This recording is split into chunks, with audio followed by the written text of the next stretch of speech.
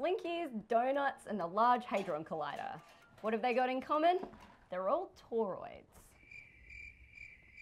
But what's a toroid? A toroid is essentially just a science donut, like a slinky rolled back onto itself. Bam, toroid.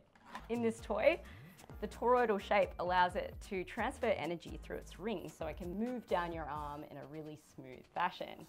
It's also just a super mesmerizing toy. But uh, toroids aren't just a shape you've never heard of. They're actually really, really important in science and electronics.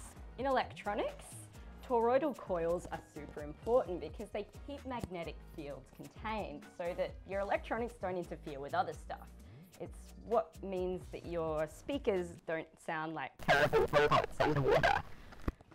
In the Large Hadron Collider, toroidal magnets stop the particles that are moving at nearly the speed of light from shooting off in so many different directions that they cause mass destruction, which is also a very, very bad day for science. So from arm spinning toys to particle smashing science, toroids aren't just cool shapes, they're kind of essential. Not bad for a donut. Hmm.